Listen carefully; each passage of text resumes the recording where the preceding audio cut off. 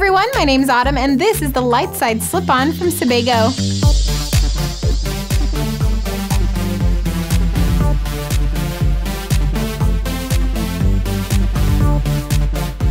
These boat shoes have a leather upper with an easy slip-on construction. There is a stitched moc toe for great added style. Got the signature logo detailing here at the lateral heel.